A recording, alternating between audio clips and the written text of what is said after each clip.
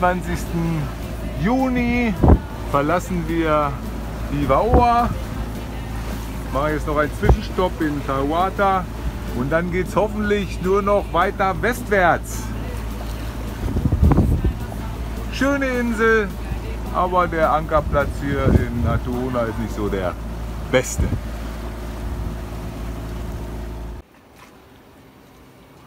Da liegt da unser Plotter.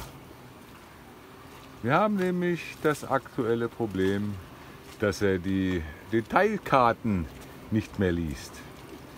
Ich hatte ein Update gemacht von den Karten vor vier Tagen und dann hat auch alles noch super funktioniert. Und dann auf der Fahrt hier nach Tawata hin plötzlich ging es bumm und dann waren nur noch die groben Karten da und die Detailkarten nicht mehr zu sehen. Ich habe alles versucht, ein Reset, äh, neue Firmware aufgespielt, eine Werkszurücksetzung, nichts hat funktioniert. Ich vermute mal, er kann halt diese Karten nicht lesen, die werden hier in den Slot eingeschoben. Da muss wohl irgendwo ein Problem sein. Jetzt werde ich dem mal auf den Grund gehen. Auseinandergenommen. Das ist schon. Und jetzt habe ich gesehen, dass da unten bei den Pins, wo die Kompaktflash eingeschoben wird, der eine oder andere Pin nicht ganz so weit rausguckt, wie er vermutlich soll. Alle Platinen ausgebaut, um jetzt da hinten dran zu kommen. Mal schauen, ob da das Problem liegt. Ich habe jetzt hier alle Pins wieder auf die gleiche Höhe gebracht. Einige standen raus, andere waren zu weit drinne. Ich hoffe, dass es daran gelegen hat. Ja, guckt euch das an, es funktioniert. Es gibt wieder Details auf unserer Karte. Also, das lag an den Pins hier von der Kompaktflash. Repariert. Auch der Michael, der ist so glücklich. Wir sind heute wieder bei Mohuhu und haben schon einen ganzen Sack Grapefruit bekommen und Grapefruit und Brotfrucht, Kokosnuss. Und das hier alles ein Grundstück.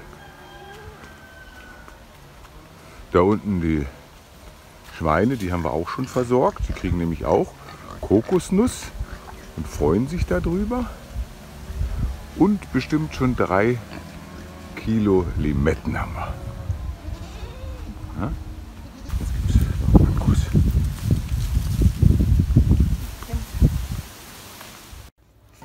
C'est nougat. Nougat. Et nougat.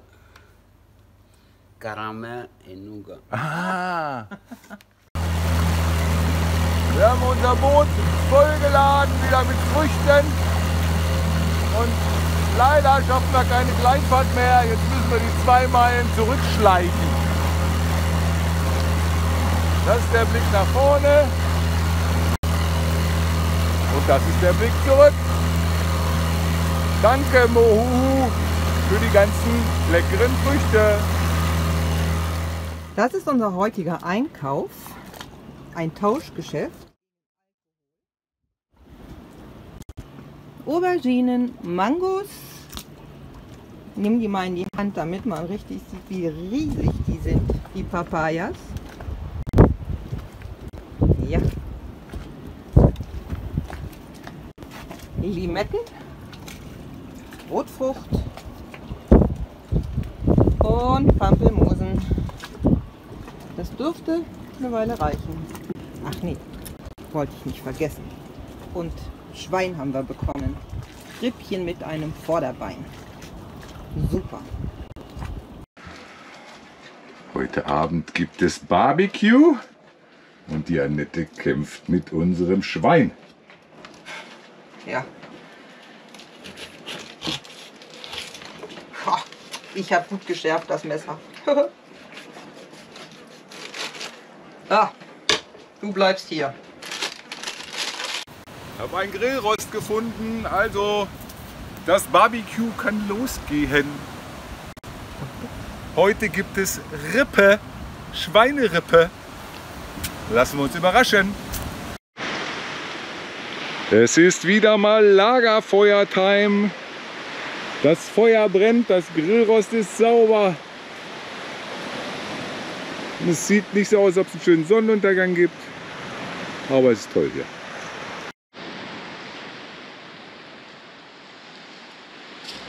Die Rippen und ein Bonito liegen schon auf dem Grill.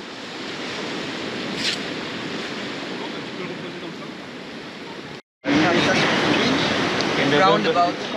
In November, you want to be in Tahiti. Oh, okay, so you We are need a whole load for the limelight. Aha, okay. Es hat sich langsam hier gefüllt. Yeah. We want to go to costaud. Eh ouais, faut les ramener après. I must look who is here. Okay. Yeah. Yeah.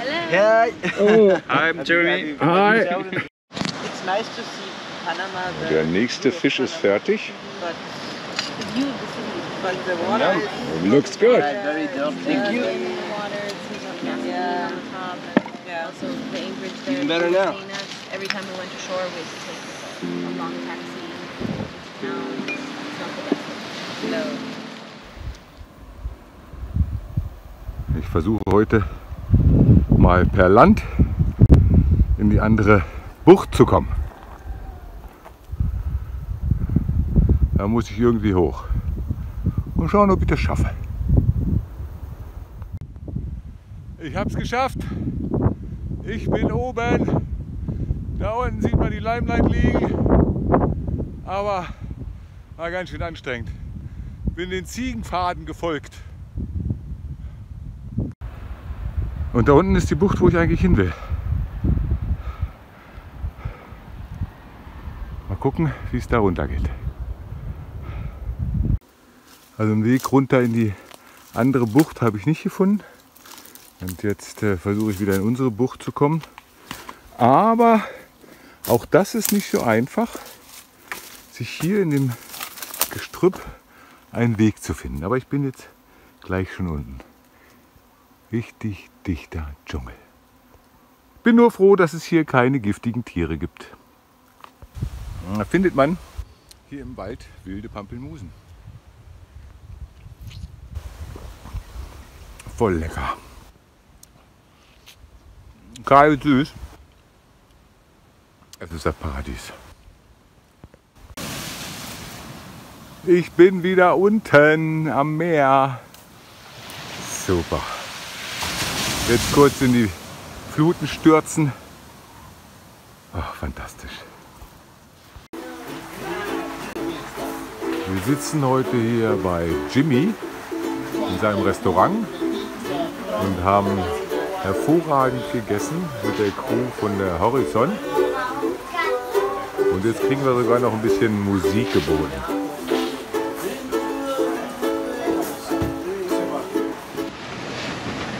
Sechster August 2022. Wir haben Tawata verlassen und fahren wieder mal nach Viva. Oa! Herrliches Segeln.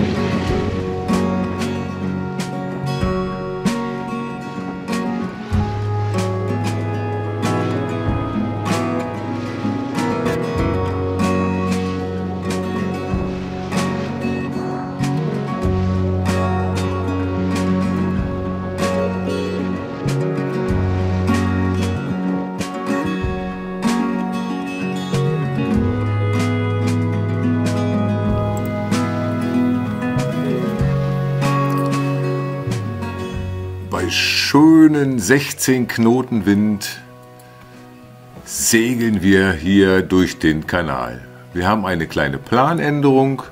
Wir fahren also nicht zu den Tuamotus momentan. Die Annette will nach Deutschland fliegen.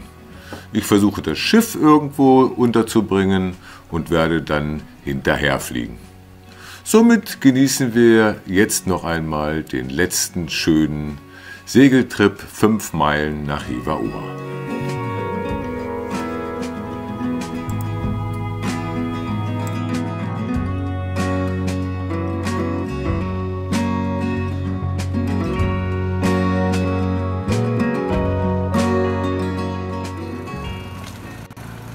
Annette wurde gerade abgeholt von der Crew der Sea Pearl und fährt jetzt zum Air Tahiti Schalter um ihren Heimflug zu buchen. Da sieht man super, wie groß Französisch-Polynesien ist. Im Hintergrund ist nämlich Europa. Also es sind riesige Entfernungen. Von hier, Hivaoa nach Tahiti sind es 1400 Kilometer. Das ist hier der Check-in am Flughafen Hivaoa. Also sieht ein bisschen entspannter aus als auf den europäischen Flughäfen. Die Annette hat es tatsächlich geschafft, einen Platz im Flieger zu kriegen. Also die verlässt mich jetzt hier und fliegt nach Da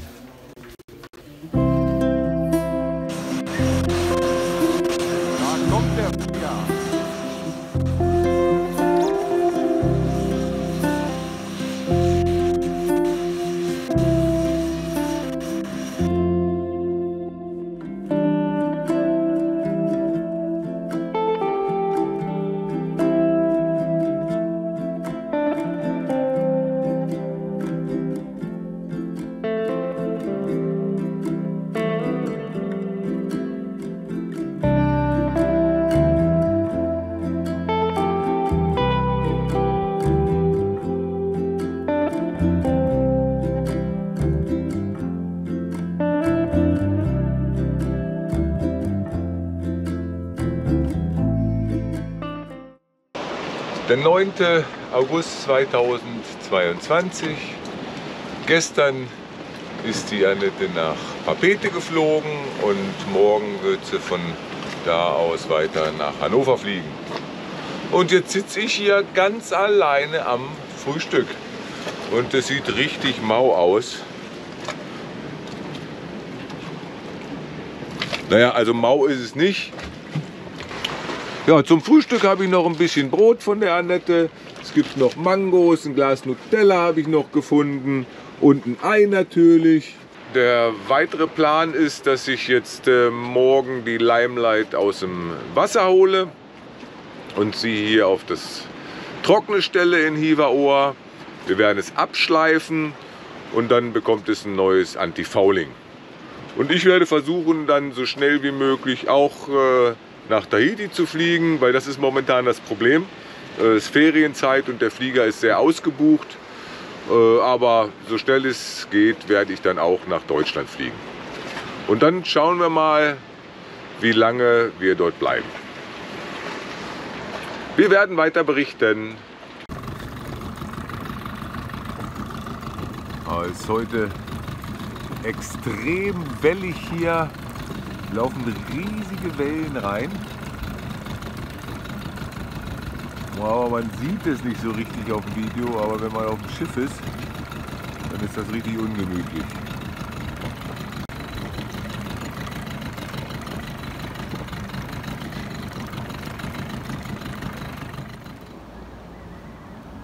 Man sieht den Berg auch mal ohne Wolken. Heute den ganzen Tag war es so wolkig und jetzt ist es alles aufgerissen. Herrlich. Ich glaube, es sind auch nicht mehr so hohe Wellen. Oh, heute Nacht war es auch wieder so rollig. Und es wird auch immer schlimmer. Der Wind soll heute auch mehr werden. Aber um 14 Uhr kommt die Limelight aus dem Wasser. Der Pablo von der Freire, der hilft mir. Und dann hoffen wir, dass das alles gut klappt. Ich bereite schon mal den Haul-Out vor. Die 14 Uhr kommt die Leim mit aus dem Wasser. Das Dingi habe ich schon teilweise gereinigt. Ist heute hier gar nicht so einfach bei diesem Gewackel. Aber ich werde es nur grob reinigen und das andere mache ich dann, wenn wir auf dem Trocknen sind.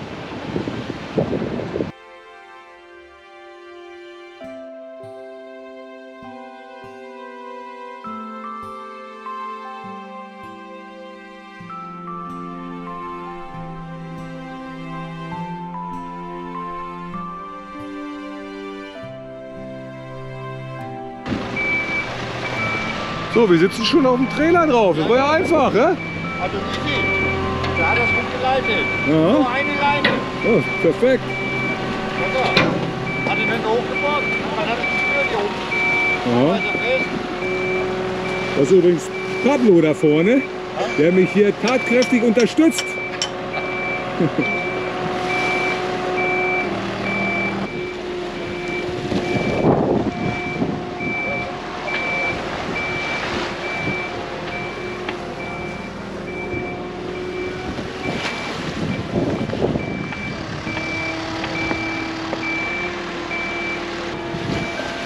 Das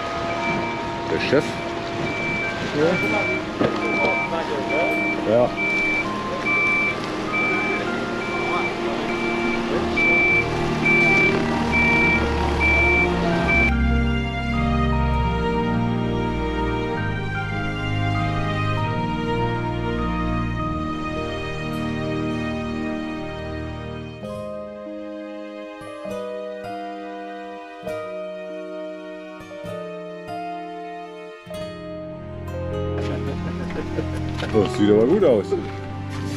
Ja.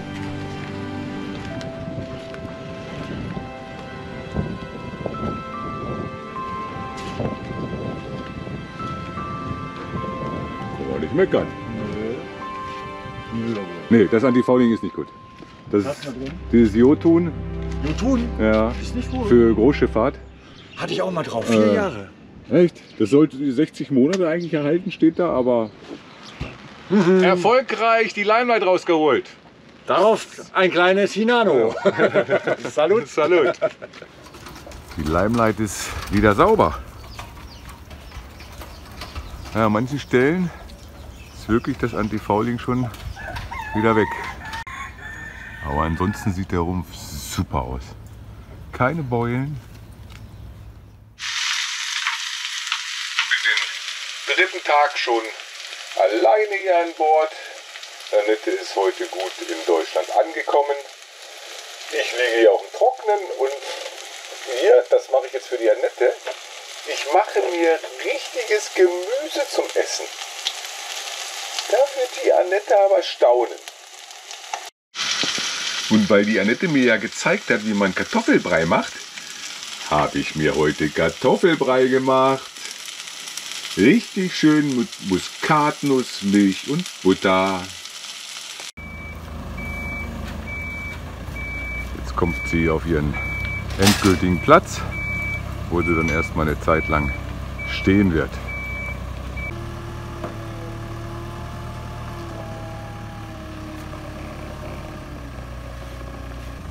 Oh, fängt schon wieder an zu regnen, hat auch die ganze Nacht geregnet.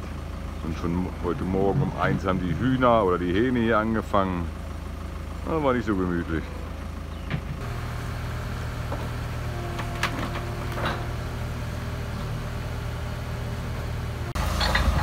Jetzt kommen die Stützen drunter.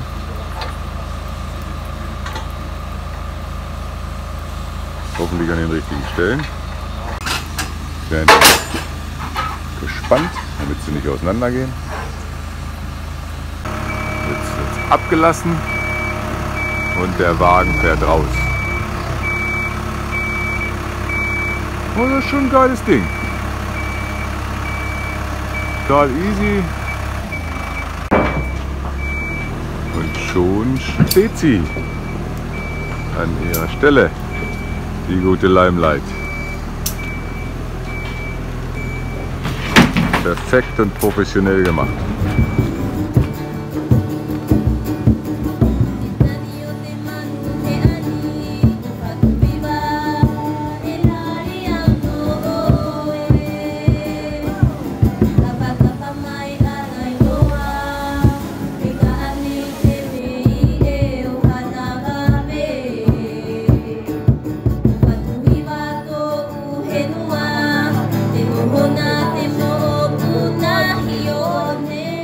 Mir hier dieses Moped gemietet und werde jetzt nach Ayapa fahren.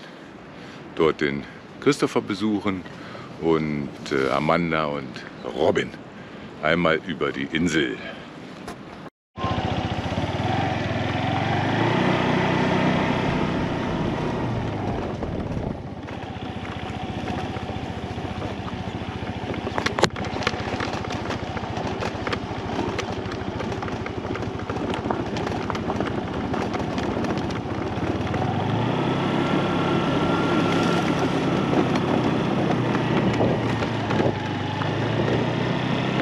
Endlich wieder Moped fahren.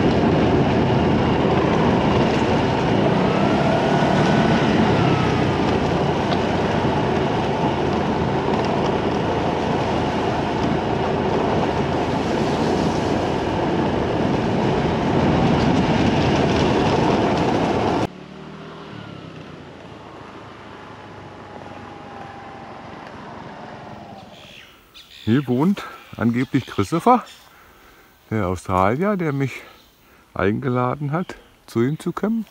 Aber es sieht nicht so aus, als ob man hier wohnen kann. Ein schönes Grundstück und es ist leider auch keiner da.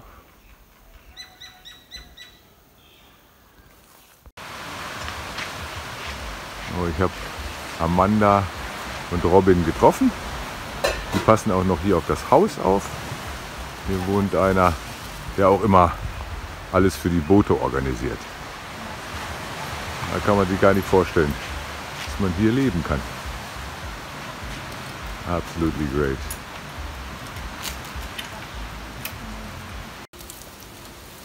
Das ist hier so eine Nebenbeschäftigung von Amanda. Pferde sauber machen. It's a horse wash washing machine.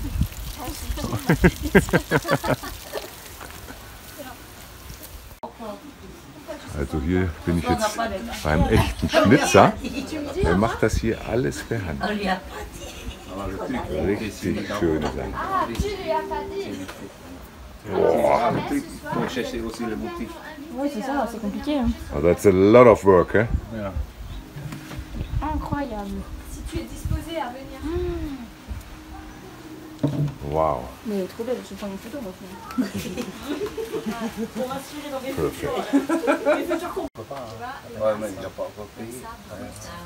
Alles Handarbeit.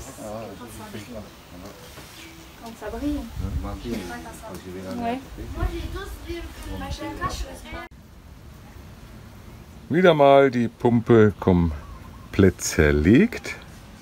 Also es war so ein bisschen Gummi da drin. Ich vermute mal, dass das von diesem O-Ring war. Ich glaube auch, ich habe in Chiapas das falsch zusammengebaut. So, Gott sei Dank habe ich jetzt hier noch einen neuen Simmering. Und das werde ich jetzt hier mal wieder alles zusammenbauen. Ist schön sauber gemacht. Dann hoffe ich, dass es diesmal dicht ist. Kühlschrank ist gereinigt. Jetzt muss das alles da wieder rein. Und dann muss ich versuchen, dass ich ihn wieder zum Laufen bringe. Er läuft ja, aber er stoppt halt nicht mehr. Entweder ist das Thermostat kaputt oder es ist genug, nicht genug Kühlflüssigkeit drin. Der Kühlschrank, der ist jetzt äh, vier Jahre alt, der Kompressor. Den habe ich in Sardinien noch eingebaut. Also eigentlich sollte das mit der Kühlflüssigkeit noch funktionieren. Leider bin ich ein bisschen in Zeitdruck, weil morgen will ich ja nach Tahiti fliegen. Und morgen ist hier Feiertag. Das heißt, den Vincent, den Werftchef, kann ich nicht mehr erreichen, sodass ich ihm auch nicht mehr erklären kann, was er da machen muss. Salzwasserpumpe wieder eingebaut, Keilriemen schön festgezogen, Simmering erneuert und den Motor ein bisschen nachlackiert. Jetzt hoffen wir mal, dass das lange dicht ist.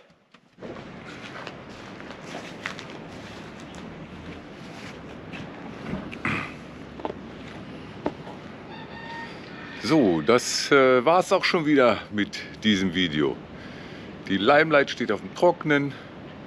Ich habe sie schön geputzt, alles verstaut, sodass sie hier auch länger stehen kann. Und ich versuche morgen nach Deutschland zu fliegen. Wenn euch das Video gefallen hat, abonniert es bitte, drückt auf die Glocke, dann werdet ihr benachrichtigt, wenn es ein neues Video gibt. Und hier unten könnt ihr uns unterstützen bei Patreon. Hier den Kanal abonnieren und hier oben findet ihr ein zufällig für euch ausgewähltes Video. Dann bis zum nächsten Mal. Tschüss.